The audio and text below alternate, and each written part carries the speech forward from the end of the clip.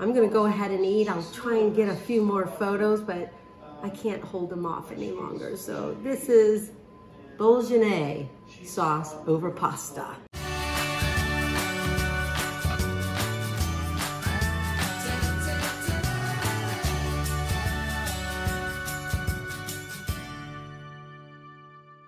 Well, hi, I'm Amy, Amy Roloff, and I'm in my little kitchen. It is Sunday today, a gorgeous day. I kind of wish I was outside, but we're having some friends over, Chris and I, and I thought I would try and make bol, bol, bol, Bologna. I think that's right. That very good Italian sauce that you put over uh, pasta. And I will tell you this, I because it is it's a variation of what we would call our basic meat sauce that we make here. Um, you know, it's not that I'm an Italian cook or anything. Um, so I had to go ask Lisa, you know, red or white wine, or there's so many different things out there, just little slight variations to all of these different recipes. So this is gonna kind of be my take on it. I think because I'm, uh, I am using beef, some of these more traditional bol, bol, bol, Bologna uh, sauce, um, especially I think in the middle or up north of Italy, they use more of a white wine. I'm gonna go ahead and use a red wine because I am using beef. I didn't exactly have just pork, so my recipe is gonna say just ground pork. But here, because it was in the fridge, it's a slight kind of like Italian pork. So anyway, I'm not gonna really add any spices to it. So I got done cooking up the beef and the pork. Now I'm gonna, uh, so there's pancetta in here. You've got kind of that mixture because you're making this type of sauce. I've got onions, carrots, and celery all right here. They're all cut up. And you know I don't cut onions when I'm doing a video because it makes my eyes water and looks like I'm just crying and having an absolute miserable time, which I'm not. My biggest debate is um, tomato paste.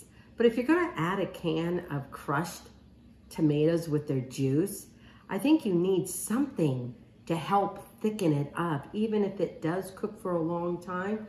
I mean, so much will evaporate, but I think you need a little bit of tomato paste in order to thicken up, uh, thicken it up a little bit. So I will add tomato paste to this uh, Bologna uh, sauce. In fact, I really can't wait to maybe one day in my lifetime, before I die, actually go to that part of Italy. Because I've been to the key elements, Rome, Venice, um, Florence. Rome, Venice, Florence. I think that's it those three major tourists, but I'd love to go to southern Italy or uh, in Tuscany. Anyway, that's a side note, people. So I think what I'm going to do now, I've, al I've already cooked my meat because this sauce should cook at least for a couple hours, really on low and simmer so all the flavors and everything can just kind of meld together and it helps evaporate some of the water in the sauce. So I'm going to cut up um, pancetta, which is kind of like Italian bacon. I'm gonna cut that up a little bit in little bits and pieces. We're gonna get that going in the saucepan. And then after I uh, brown up th this pancetta, then we're gonna go ahead with the carrots, the onions, and the celery. Okay? Okay, so I'm gonna cut this up.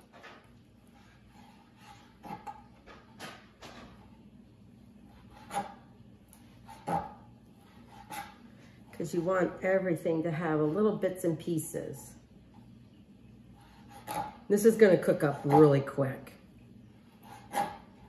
I don't have it as thin as you might uh, get pancetta in the store. So you can have it a little, cut a little bit thicker as well. That way you have more heartier pieces. It's hard to cut this when it's not cold. And I kind of think I'm gonna like this. It's been a long time since I kind of officially made this sauce. I would have to say a long time. or let's let's put it this way. It's been a long time since I've really paid attention into what really goes into making this bourguignon sauce. I really hope I'm pronouncing that right. Any of you out there that's, you know, truly Italian and have that Italian history and cooking and cooking with grandma and your mom and stuff, I do apologize if I'm totally obliterating that word.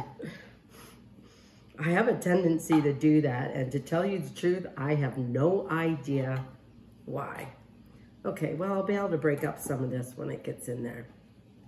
Okay, we've got that going. So we're gonna head on over to the stove, get this start, get this cooking. It won't take very long and then we'll get going on the rest. Okay, so I'm cooking up the pancetta here. It'll take a while because, you know, it's like bacon. So a lot of the grease, or a lot of the fat, I should say, is gonna be uh, cooking down. So it'll take a little bit in order for it to get crisp. But you don't wanna go too fast. So it's browning up here a little bit. So we have, I don't know, maybe about five more minutes to go. Okay, I took out my pancetta, and this was probably about four to six slices. I feel like I wanted to, I would like to add a little bit more, but four to six. So we're just gonna saute these onions up a little bit. I just drained a little bit of the grease. But we're just gonna cook these until, sorry, the fan was on people because um, it gets kind of crazy in here. Anyway, the pancetta. This is about four to six slices. I feel like I should add more, but I'm just gonna leave it here. And so right now I'm just sa uh, sauteing, cooking down the onions a little bit. So until they just become translucent. I'll bring you over here. And I left, you know, the uh, grease in there. But yeah, this will cook down for a little bit. Then I'll add the carrots and the celery. This sauce definitely uh, goes in stages. As I'm looking at the clock, I'm hoping I can get the rest of the stages done in about 15 minutes. So we're just gonna turn on the heat just a little bit, get rid of some of this grease. Oh yeah, I think the thing I forgot to mention was um, you, you want to cut up your vegetables in very tiny little pieces. You don't want these big, huge chunks of onion, celery, and carrots. And look at this. Guess what I didn't do? So we're gonna go back to the kitchen counter and chop up my carrots and celery. Oops. So I'm gonna turn this down and then go back to what I forgot to do. Okay, my onions are still sauteing over there, as I mentioned. Um, silly me, I sliced them up, but I forgot to chop up the carrots and the celery into you know, just really as, as finely, as, as fine of a chop as you can get without using a food processor. And you know what, people, this probably would be easier in a food processor. But as I mentioned before, I don't know, I just like the feel of doing a lot of this stuff by hand. But boy, I tell you, a food processor and all those other little gadgets, definitely make life a little easier and probably a little quicker in the kitchen. And I do have a food processor. That's the funny thing. One of these days, because it is very badly needed, I'm going to clean out my um, pantry and kind of reorganize it. And maybe if I put the food processor down a little bit lower, instead of having to climb on a on a ladder to get things. I would probably use it a little bit more, but we'll see. Okay, I've got this little bunch. I think that's good.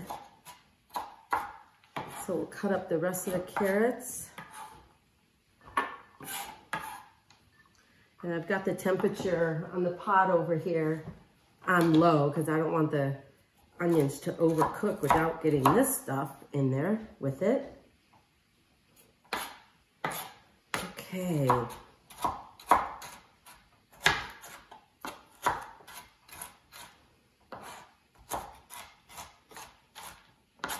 I'm just gonna keep, yeah, the one thing about this though, it kind of bounces off the cutting board. the carrots go on the floor. Too bad Felix doesn't like carrots that much. What in the world?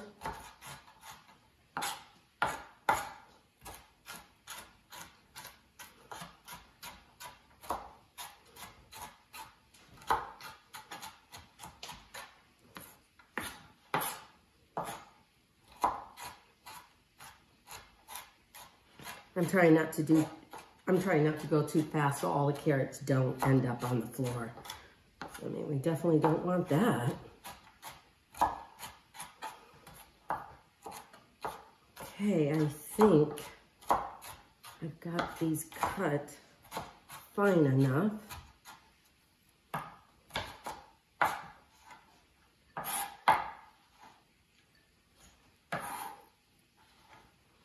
Okay, there we go. Let me cut up the celery.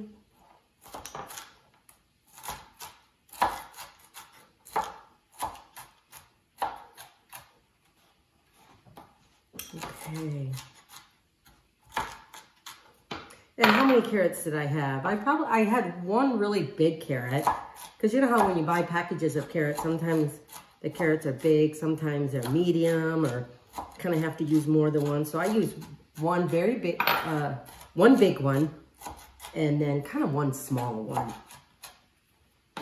So it really depends on the carrots. I would say one to two carrots. And then again, it really depends on how many people you're feeding. I'm sure we're going to have leftovers here, which, tell you truth, I have no problem in that.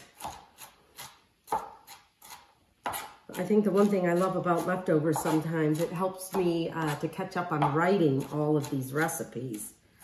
Because I do fall behind. And I get so mad at myself. I got to go over it and make sure I captured everything, right? Measurements and all that stuff. Just like how I forgot to cut the carrots and the celery. Okay, we're gonna dump the carrots in the pan. We're gonna turn up the heat a little bit, let that cook for a second because I don't think the celery is gonna take that long. So I'll see you over there. I forget that these ceramic pans, but anyway, Carrots and onions are cooking up here very nicely. I'm to go ahead and add in the celery. And I'm going to go ahead and chop up some garlic because I forgot to do that too. Here I thought I was going to be all prepared for you guys. So I'm just going to let this cook up for a minute why I go cut up about two cloves of garlic. Okay, you probably can't see the garlic on here because of the um, the orange uh, part of the cutting board here from the carrots. But anyway, I have about two large, no, but yeah, about two larger uh, cloves and two smaller ones. So I would say two large cloves or maybe two to three, three cloves. It all depends. But don't overpower it with garlic. That's not the, I, from what I read and from what I gather, garlic is not the most powerful thing in this whole dish. I think it's the simmering of the sauce. I think it's the, you know, adding just that hint of cream, a little bit of cream, um, kind of balances out the acidity of the, uh, you know, tomato paste, tomato sauce. Then you got that nice, richness of red wine. Like I said, I debated whether to add red or white wine because I have tomato, tomatoes and tomato paste, but so I don't know. I think next time maybe I'll try it with red wine and see how that goes. But for today, we're gonna have red wine.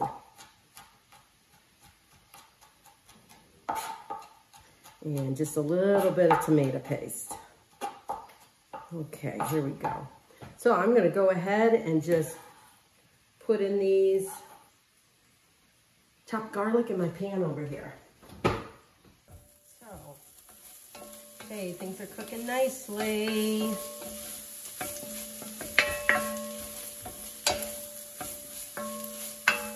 Okay, just gonna make a little center in here.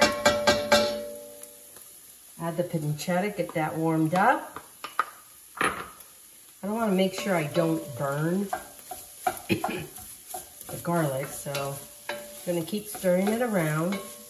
Pancetta's been added. Now we're gonna go ahead and add all of this lusciousness meat.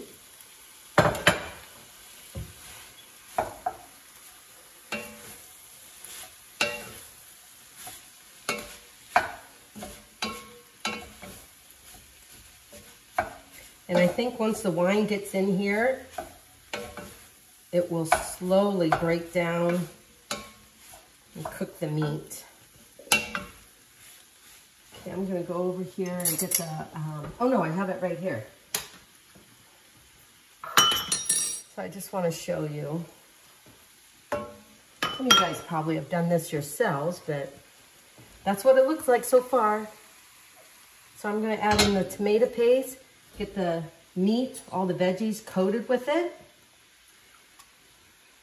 But also this will help cook it down a little bit, kind of give it that rustic, rustic feel flavor to it.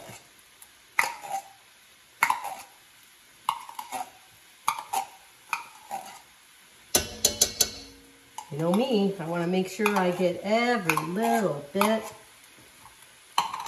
out of my can, out of the can.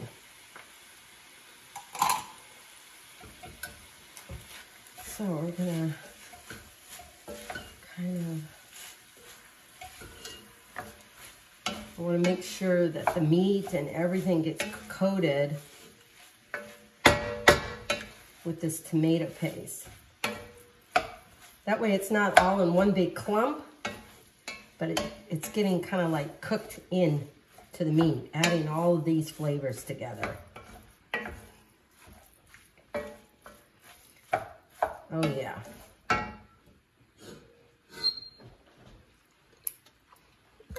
Okay.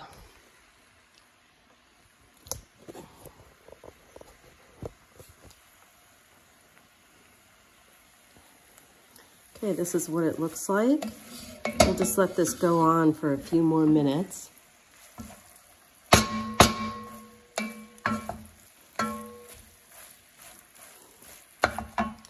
Then I'm going to, what am I going to do next? I'm going to add in the wine get the wine flavored. So really, what I've really learned about this sauce is that the sauce goes in layers and that helps build and the flavors and build it up to this nice, rich, hearty sauce.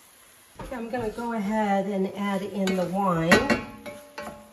Um, this is from a local winery, Dauntless. I just found them out and so because I think if you drink wine, you should add it into your cooking as well. Because if you don't, if you add red wine or white wine, but you actually don't drink it, I'm not quite sure why the food would taste the best. So, we're gonna add in a cup of wine. Oh dear. Oh yeah, there we go.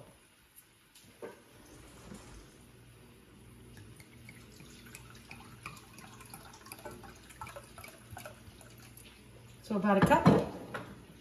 Here we go. Gonna turn up the heat just slightly, just so it has, the wine has a chance to be incorporated, but also kind of cook off some of that alcohol. So this will probably, I don't know, take another like 10 minutes. In fact, I think while this is cooking down, just a little bit more. Oh, man, you can just smell it. So good. I think I'm gonna pour my glass, myself a glass.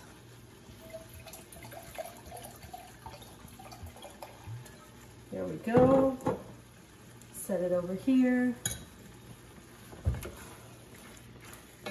Okay. I think the wine has cooked down I'm gonna bring you guys over here. It's definitely looking rich. I love it. So good.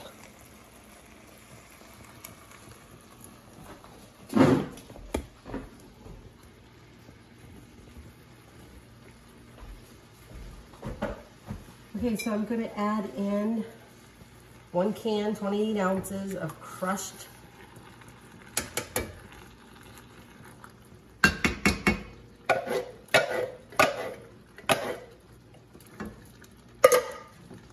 And I'm just gonna add one cup of chicken stock or chicken broth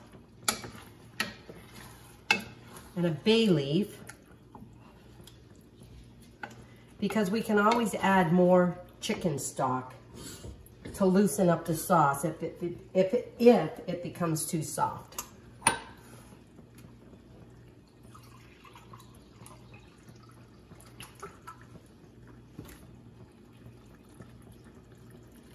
There we go.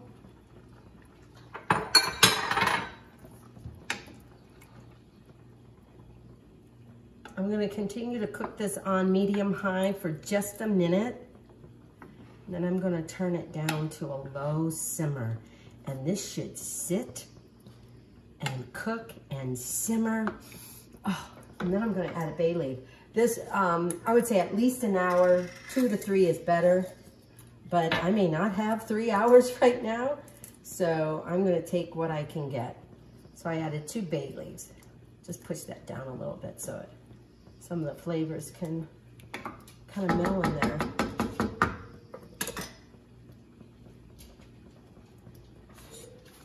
I'm gonna tip it up and show you guys. Okay. Hopefully I didn't forget anything. I'm kind of worried about that now. I have a tendency to overthink and not think about putting some stuff in here. So I think this is gonna be okay.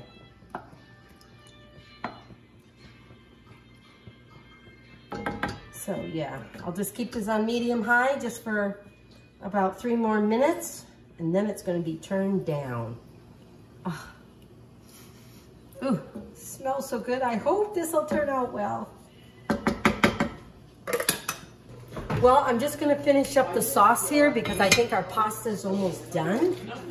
So I'm gonna add maybe about, I don't know, a half a cup. And really what the cream does it kind of softens up the acidity from the tomato uh, sauce, tomato paste, and stuff like that. So we're just gonna let, oh yeah, look at that. So it's not, I wouldn't call it like a cream sauce. So we're just gonna kind of, and my pasta is almost done. So we're just gonna let this, what else was it? Oh yeah, cheese. I forgot, I gotta add par Parmesan cheese. And I'm just gonna add a little bit of Parmesan cheese. And then I'll also, I think I was supposed to do this. I'm trying to be as authentic. If you're not supposed to do it right now, I'm not gonna add a lot. I think this will be a good topping for it. Then I'll just chop up some parsley.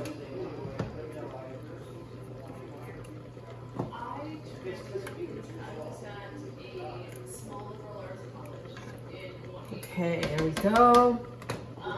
Put this away, and then I'm gonna chop up some parsley. Okay, our friends are here. We're getting ready to eat. So you can find this recipe and all of the others at Amy Roloff's Little Kitchen on my YouTube channel. So I'm gonna go ahead and eat. I'll try and get a few more photos, but I can't hold them off any longer. So this is Bologna sauce over pasta. And next time I might try it with white wine. But anyway, give it a try. So keep gathering around the table and enjoy that time. So again, thank you for following me. Thank you for being in my little kitchen. So from my little kitchen to you, enjoy. Okay, this is the part that I always forget to do on my videos because a lot of you guys have been asking, do I actually eat the food? and yes, I do. What I'm making for you is pretty much what we're eating that day, that evening, whatever it may be. So, yes, this is good. In fact, I really love these noodles. Mmm, mmm, mmm. Mmm. I think the cream sauce really balances out the tomato, the acidity of that. And I think the way you cook the meat for this sauce is really, really good. In fact, I'm going to tell you the noodle. Where... Oh yeah, see this word right there? Bucatini, bucatini. I'm sure that's not how you pronounce the noodle, but I tell you, I like this noodle. It is thick, it is hearty, especially when I couldn't find the one that starts with the T, Talligate, or whatever that is. The really nice, hearty, or, you know, wide, flat noodles. It's different from an egg noodle. Anyway, that word right there. Good noodle for this sauce. Anyway, I'm going to continue eating because Chris is over at the table eating and enjoying it. Mmm. Mmm, mmm, mmm. And I'm going to have a salad with it too. So give it a try. In fact, here is Chris. Chris, can you just say hi? Do you like no, it, babe? I can't say hi. I'm eating. that means it's good, right? It's very good. Excellent. That means it's a thumbs up, everyone.